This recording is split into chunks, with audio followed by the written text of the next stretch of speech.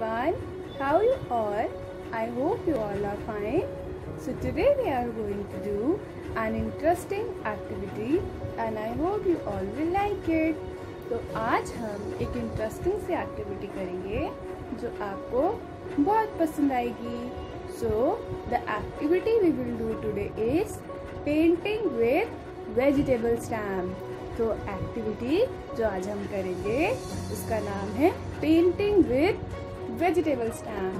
so the vegetable we are going to use is lady finger तो vegetable जो आज हम use करेंगे वो है lady फिंगर